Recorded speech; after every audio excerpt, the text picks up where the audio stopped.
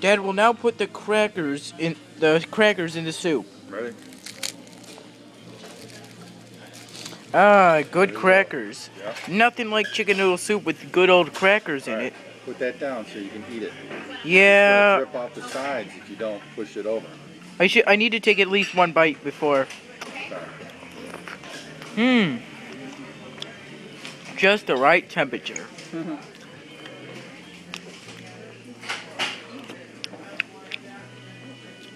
Hmm.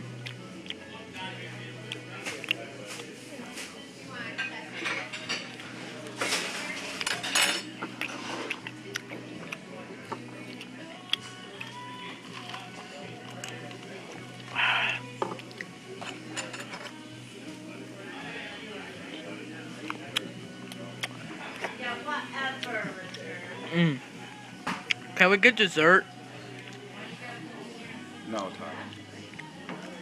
Okay then.